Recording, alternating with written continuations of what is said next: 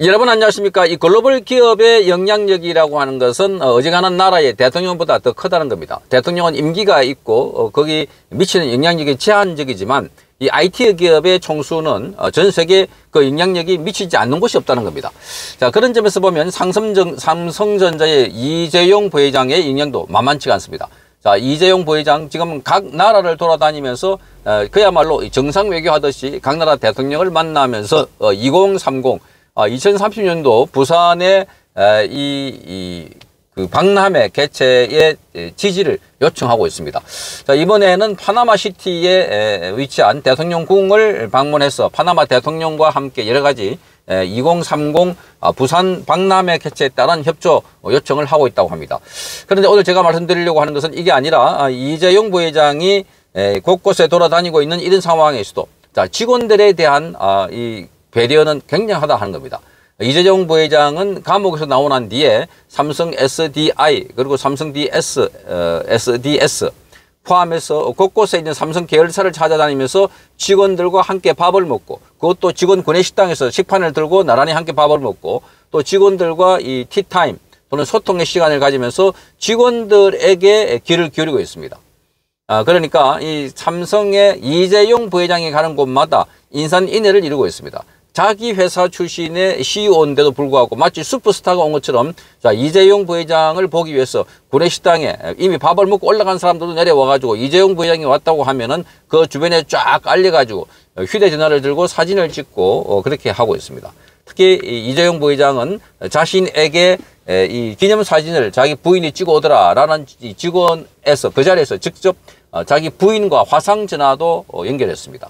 그렇게 하면서 자, 이 부인에게 또 이 남편이 점수를 딸 수 있는 기회도 주고 하여간 여러 가지 직원들 사기를 올리고 직원들을 세심하게 배려하는 뭐 이런 일에 아주 어, 잘 하고 있는 모습입니다. 자, 이번에 이재용 부회장이 추석 명절 때도 어, 귀국하지 못하고 세계 각국에 가 있는 아, 그래서 아, 자신의 일을 하고 있는 장기 출장 직원들 가족에게 선물을 보내서 격려했다고 합니다. 그런데 이 선물을 어떤 걸 보냈길래 아, 많은 사람들이 이 선물을 받고 대감동을 했다고 합니다.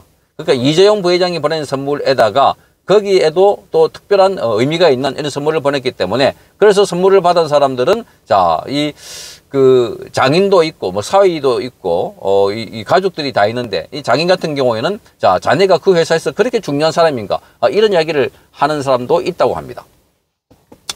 자, 장기간 해외 출장 중인 삼성전자, 디스플레이, SDI 또는 SDS 삼성화재, 삼성물산 소속의 직원 20여 명의 가족들에게 굴비 세트를 선물로 보냈다고 합니다.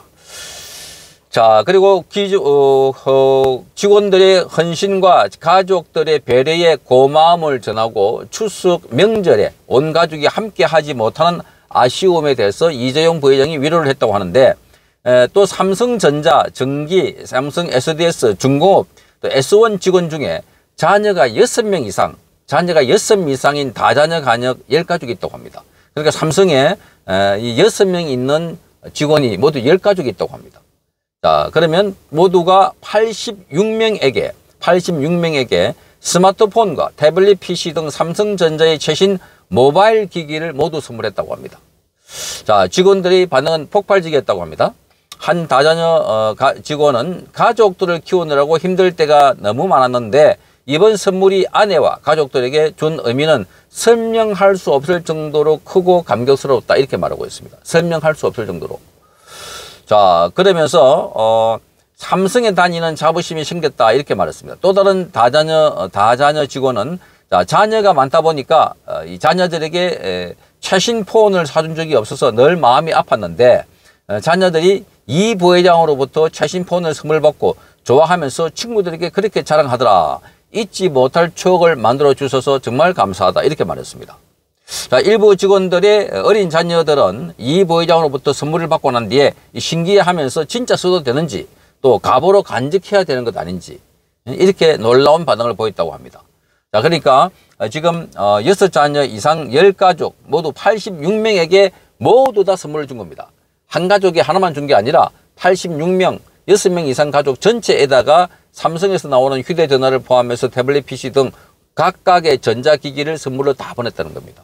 그러니까 여섯 가족 이상이 된다는 것도 파악을 해야 되고 또 그렇게 여섯 가족이 있는 사람들에게 선물을 보내겠다라는 마음도 먹어야 됩니다. 그러니까 이재용 삼성 부회장이 평소 직원들에게 고마움을 갖고 있었다 하는 것을 잘 드러내고 있는 대목입니다. 자, 이게 총수가 있고 없고의 차이다 하는 겁니다. 그러니까 이재용 뭐, 어, 우리 사회에서 그동안 한참 삼성에 대한 비판 여론이 높을 때 삼성을 해체하라, 이재용을 구속하라 이렇게 했는데 사실상 이재용 삼성이 먹여 살리는 대한민국 GDP의 한 25%가 차지한다고 합니다. 그만큼 이 삼성이 많은 역할을 차지하고 있습니다. 자, 기름 한 발 나지 않는 이 대한민국의 오로지 기술력으로 그것도 스마트폰 가지고 전 세계 시장 점유율 1위가 바로 삼성의 갤럭시 휴대전화입니다. 자, 그 노고에 취하하기 위해서 고생하고 있는 직원들. 자, 1년 365일 동안, 동안 주로 해외에 가 있는 직원들. 남편이 집에 못 들어오고 또 어, 아들이 집에 못 들어오고 이런데도 불구하고 아버지가 집에 못 들어오고 오지만 여섯 가구 이상 그러니까 좀더 숫자가 늘리면은 워낙 많기 때문에 그래서 여섯 가구 이상을 따져 보니까 86명인데 이들에게 디지털 가전 제품을 쫙 다 줬다는 겁니다. 자, 장기 출장 직원 가족들은 이렇게 말합니다. 자, 직원들도, 장기 출장 직원들도 이렇게 말합니다. 시보모도, 시보모님이 선물을 받으셨는데 며느리를 크게 자랑스러워 하셨다. 그러니까 시보모님이. 며느리가 삼성에 다니는데, 에, 시보모님이 받고 며느리를 굉장히 자랑스러워 했다. 자, 장모님께서 선물과 서신을 받으시고는 전화해서 자네 회사에서 그렇게 중요한 사람이었나? 라고 물어보시면서 감격, 감격했다고 합니다. 아까 편지까지 준, 준 겁니다. 선물만 준 게 아니라 편지까지 있어가지고 이렇게 주니까 야 자네가 그렇게 회사에서 중요한 사람이었나 삼성이 대단한 회사인데 거기에다가 삼성에 있는 회장이 있는 선물까지 주, 주도록 대단한 사람이었나 아, 이렇게 말을 하고 있다고 합니다.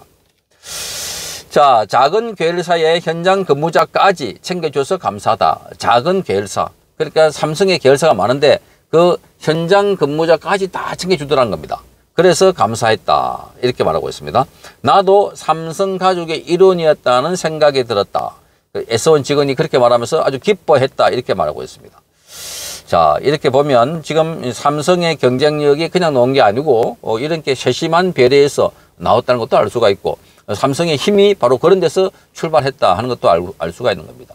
그러니까 어, 삼성 어, 아직도 곳곳에서 삼성을 비난하고 비판하고 우리 사회에 예, 문재인 정부 초기에는 이 삼성에 대한 반대 여론이 너무나 많았습니다. 삼성을 해체하라, 뭐 삼성 이재용을 구속하라, 삼성뿐만이 아니죠. 아, 국정원 해체하라, 우리 사회의 근간이 되는 이런 조직과 기구에 대해서 막 해체를 주장하는 세력들.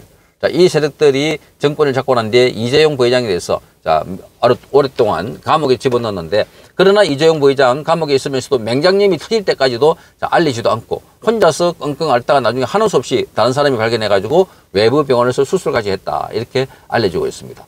자, 급할 때는 이렇게 코로나 어, 이 약도 구하고 음? 또 어, 지금 이 부산에 이 부산에 지금 어, 엑스포를 지원한다고 하니까 저 파나마까지 날아가서 자, 대통령을 만나서 설득하고 자, 이렇게 하는 이재용 부회장.